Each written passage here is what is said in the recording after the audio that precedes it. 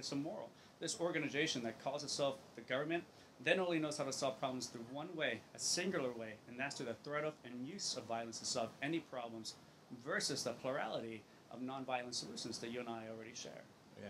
So, what are your thoughts on that? Um, I, I agree. I, I definitely think that the um, government is immoral and that um, sorry, Yeah, just yeah, a yeah. little like um, sorry about being on camera. Yeah, no, you're but I do good. definitely think about these things all the time. Um, Right. I definitely think that um, I don't know. I think that in a way we need to. The system that we have right now is broken, and like the government doesn't have any type of accountability for it because like the government is like this entity, and it's like this blind entity, and it's like when you want to go talk to like somebody about the government, it's like who do you actually talk to? Like who are you addressing? Who are you holding accountable for these things? It's like no one actually. Like, Right. So It's like one of those things that keep you holding on waiting and forever. Yeah. And, you know, they'll transfer to someone else, and after a couple of phone calls, you know, you get disconnected, right? yeah. Uh, so it's kind of like that kind of madness in like going to DMV, just trying to wait to get your line, and it's like, well, sorry, we gave you the wrong kind of number, so you have Yeah. to start over again. Um, yeah, there's no accountability, right? There is no transparency. There is no Yeah. way, uh, I would say, really to kind of keep it in check in, in terms of that. Exactly, Um, and this representative type of government is not for the people at all. It's like for business interests and stuff like that. You know what I mean? for, for people who want that kind of control, uh, the way to do it is through government. Yeah. Absolutely. Um, what do you think, though? If, of course, if you remove government, then there's no way that these interests could control people, right? Because government has all the guns. Government's the only people organization that can get taxes, right? Mm-hmm. Um, and so government is really the, the kind of organization that if you want to control uh, rich men and people, you kind of have to use it. But if you remove it, Mhm. then they're on equal playing field with everyone else, right? They don't get special interest laws for them. Yeah. Um, they don't get uh, rules that uh, apply only to us, but not for them, right? Mhm. Sort of kind of uh, discrimination or uh, discrepancy in that. Um, what, what do you think of that? Um, I agree. Um, but I feel like if you like dismantle this system, I feel like something else better would have to be in place of it. Okay, yeah, yeah. like. All right, so the cool thing about so like uh, the thing we because the thing is, I want roads, I want law, I want security, right? Yeah. I want uh, alcohol. ABC has a monopoly on distilled spirits, right? Government again, right? So when we look at these things that we do want, uh, these are things that government has a monopoly on. Yeah. So they don't allow anyone to cancel or unsubscribe as you would from like a regular business. Hey, I don't like your product, I don't like your service, I'm going somewhere else. But the thing is, you can't go anywhere else because government makes it illegal for you to compete against them, right? Mhm. So I do want these uh, services the government has monopolized, right? Uh, so the abolition of government then frees up the market for you to have the entrepreneur spirit to say, you know what, I can provide you a better security that's not going to be abusive or harmful to you, Mhm. uh, the consumer, right? Yeah. Uh, we, we can have rules that we finally give explicit consent to, right? Not forced by the majority into the minority. Uh, Yeah. Rules in which like you have rules like in your room and your property in your house but those rules don't transcend across the river into my house right Yeah. so rule rules for respect for property rights for self-ownership that's your these are your clothes that's your money that's your car that's your land whereas under government they'll say well eminent domain is that's our land now uh, property says that's our house now Mhm. uh, and all these different kinds of taxes add up to nearly half your income Mhm. and that they just they take from you right Yeah. um, so that's what you would call then uh, a free market society based on consent, right? Yeah. And then you, you wouldn't have politicians anymore. You wouldn't have the police that are not consumer driven, but how many tickets they can give to people, Mhm. right? Um, you wouldn't have any of the kind of mess that we have today, in which if your if your lawn was like uh, out of limits, they'll Mhm. charge you, right? But if it's the city government, like it has been for like two weeks ago, Mhm. right, for a little while, well, you know, it's just us, right? So under government, the rules apply to us. They don't apply to government. You're not allowed to steal. We'll call it taxes. You're not allowed to murder. We'll call it organized war, right? Mhm. Uh, if somebody blows up something, oh, that's a catastrophic uh, catastrophe, right? If government doesn't, it's just collateral damage, right? Mhm. They call it by a different name when government does it because they want to call themselves kind of special magical entity that's Yeah. above morality, right? Exactly.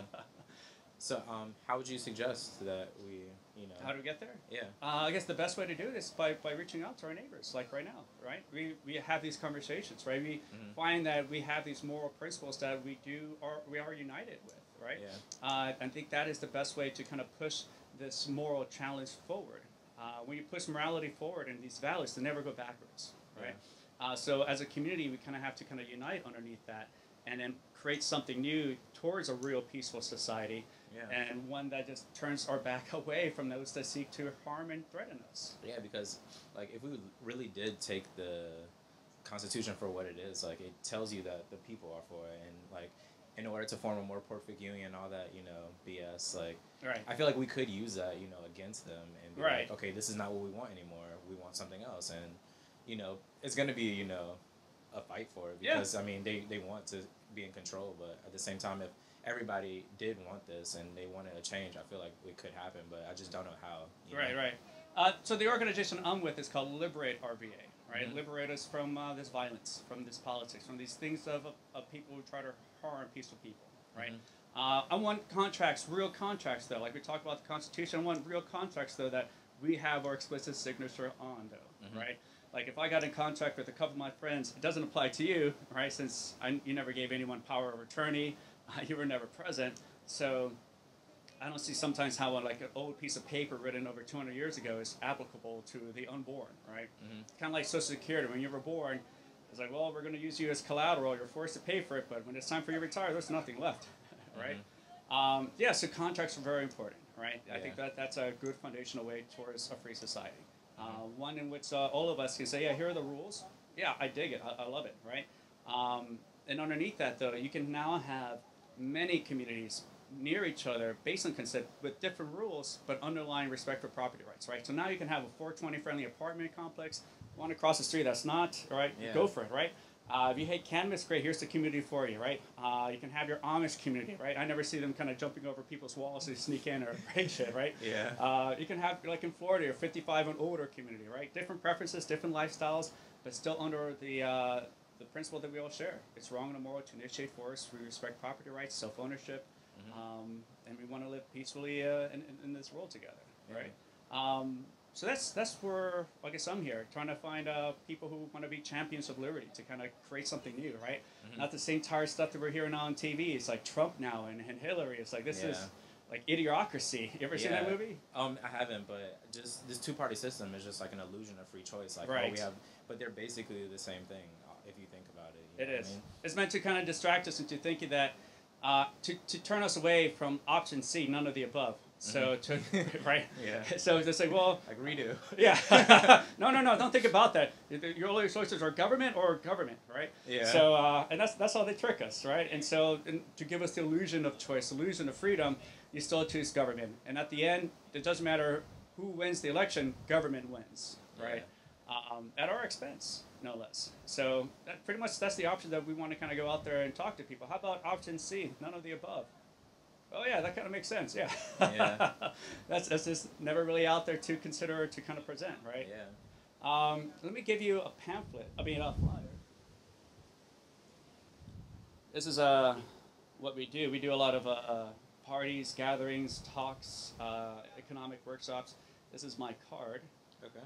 Uh, yeah, feel free to contact me. Next Saturday we have a party, so it's like anarcho skepticism. So talk about skepticism because that's kind of healthy, right? Mhm. Towards for any kind of idea or any kind of thought or philosophy, right? Mhm. Um, skepticism helps to be you know healthy and kind of you know oils and greases the mind into coming to that conclusion yourself. Yeah, that kind of makes sense. That's rational, Yeah. logical, um, and so that's kind of the way forward with a lot of these things. I think, right? Having a shared fundamental value for philosophy, right? That's not something you can practice on your own. So, Yeah. um, I'm Kal.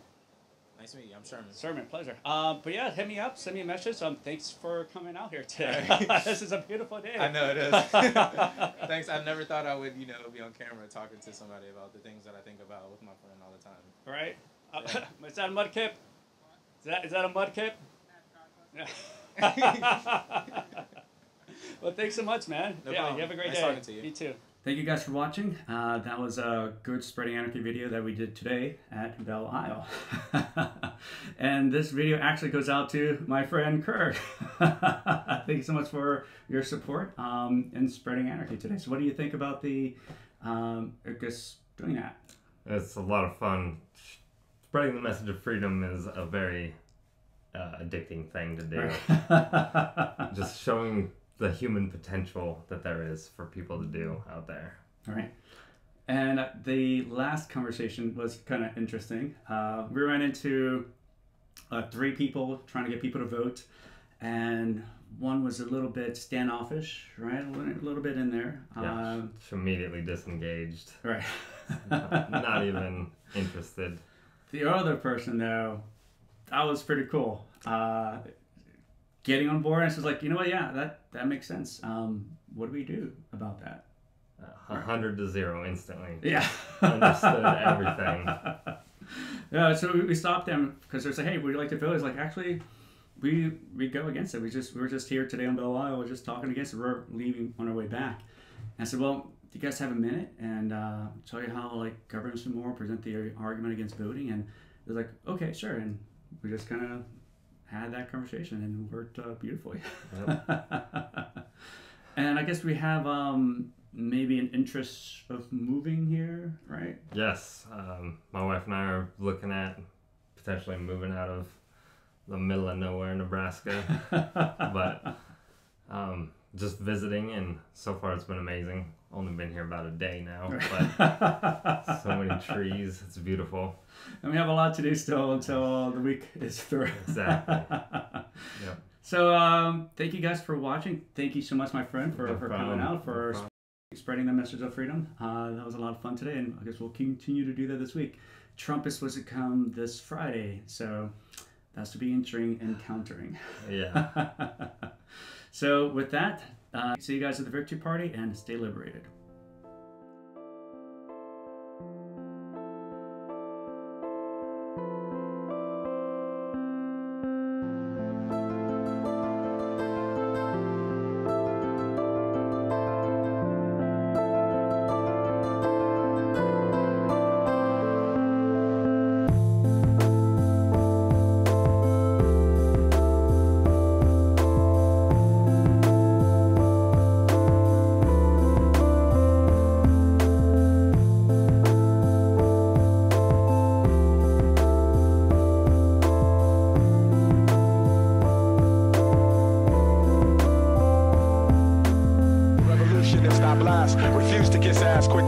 Ready to mask cause of my tormented past. Swallow the pain, follow the mental terrain. It takes a hell of a man nowadays to maintain. Garments bloodstained, face bruised and battered. Eyes reflect agony of dreams that were shattered. It never mattered to the so called general public about my nation's situation and how we rise above it. And they love it when we self destruct and kill a home. And the greater responsibility, yes, is still our home. We should know by now that the system's designed for our demise. If we ain't wise, we'll be left behind. The dollar signs rule. But what about the fool victim to the material world?